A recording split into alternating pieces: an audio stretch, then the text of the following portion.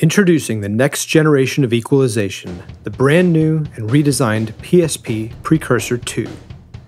This is a specialized EQ plugin with uniquely designed filters with low resonance peaks which reduce ringing artifacts.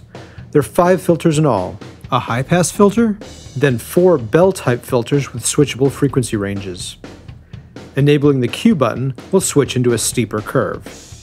The bell filters are designed for gentle and musical changes and they will rarely sound harsh as some other types of EQ can.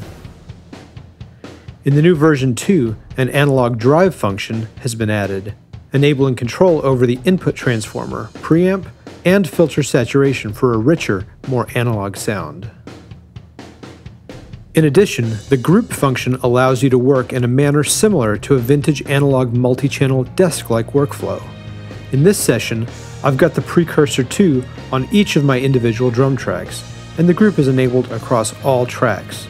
By doing this, I can switch on the advanced analog modeling across all grouped tracks at once, and add the subtle but signature analog processing to affect the drums.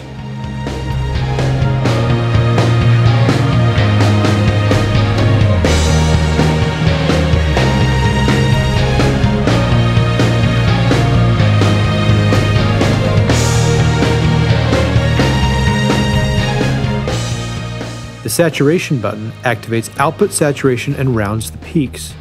This saturation takes place post output knob.